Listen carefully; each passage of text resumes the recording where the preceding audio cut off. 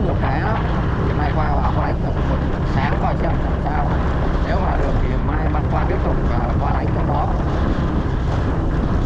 Mọi người đi à, chơi đi vô coi à, tham quan nó qua ha. Thực hành phóng sinh chuyển hóa được gia đình. Cách đây khoảng một năm, có một nữ Phật tử là Diệt Kiều về thăm quê. Được một người đệ tử của thầy Nhuận Châu giới thiệu về thầy nên sau khi trở về nhà ở nước ngoài liền viết cho thầy một bức thư chào mọi người nha thì uh, hôm nay ờ, em đi xuống dưới lòng hồ em đánh ờ, cá nói chung là là nay xuống được bữa nay nữa là bữa thứ hai. Nhưng mà mình cũng uh, đi câu sông câu tự nhiên mà lòng hồ bán tự nhiên này. thì cái xuống thì cũng vạch cái lỗ ra mình câu như vậy thôi. Nói chung là đấy nục nục bình thì nó nó bao kín luôn không không ờ, không mà có phải chống được như trên cái bãi cũ em hay đánh thì em xuống em câu thì từ sáng đến giờ nói chung là cũng được một con cá với lại bông một con rồi. Còn bây giờ thì từ giờ đến chiều nó coi ờ, được con nào không? Hồi nãy là em à, bông con con bông con chép nó quấn như đây này bị bong. nó quấn vô cây á là mình đưa lên mặt rồi mà nó quấn vô cái cây là mình không lấy được. Thì bị mất. tiếc lắm nhưng mà không không biết làm sao. và như vậy tôi mới có thể giúp bà đưa ra một lời khuyên một giải pháp cụ thể nào đó. 6 tháng sau quả nhiên thầy nhận được thư trả lời của người nữ phật tử này. Kết quả hoàn toàn bất ngờ. Thầy không đây này thấy chưa? các bạn ăn là ăn mà. vì bà ta chưa- chưa nên lên mặt nước. lúc trong này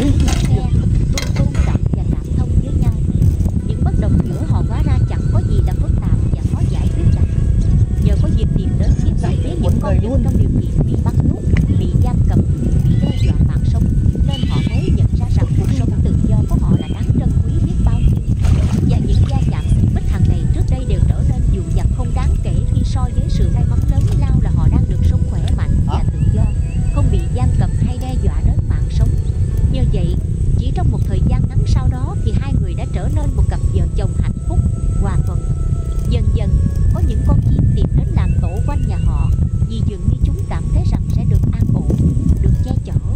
Thế là họ liền nghĩ đến việc mua thực phẩm để cho chúng ăn vào mỗi buổi sáng. Sân nhà của họ không bao lâu trở thành một sân chim vào buổi sáng và cả hai đều không ngờ rằng việc nuôi chim lại có thể mang đến cho họ niềm vui vô cùng lớn lao như vậy. Chỉ cần nhìn những con chim thật dễ thương nhảy nhót vui vẻ và vô tư trên sân không một chút lo lắng hoảng hốt họ cảm thấy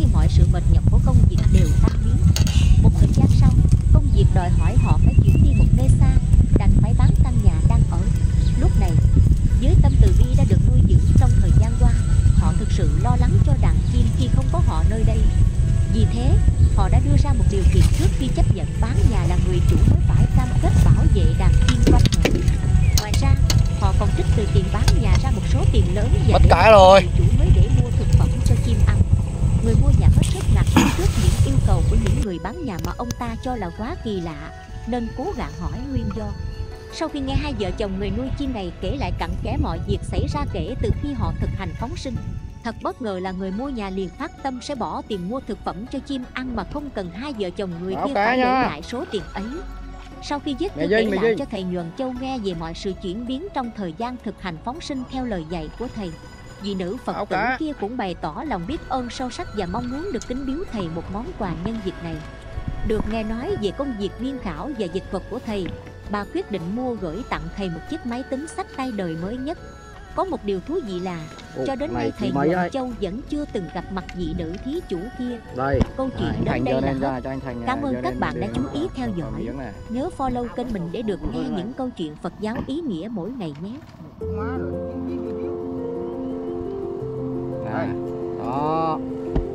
Thành này đã báo cá khủng nha. Kỳ rưỡi đó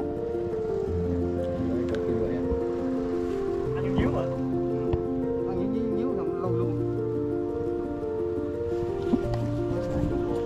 cá này nhìn béo thiệt. Lớn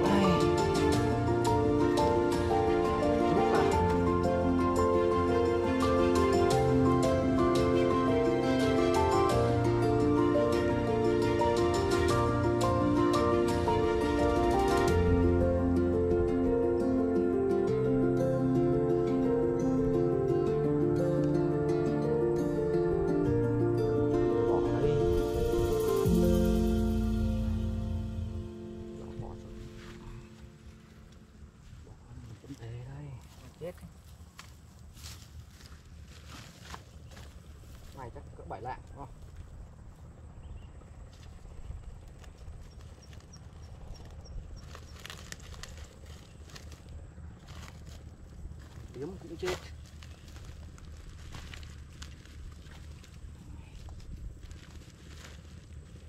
Điếm vừa cái điếm quá thì chết được tao thôi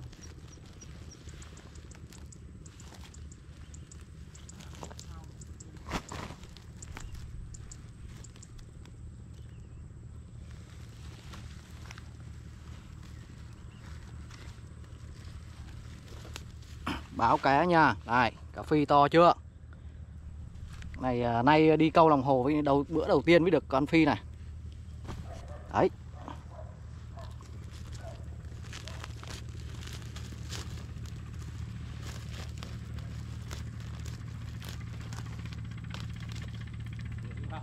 Vừa cái bao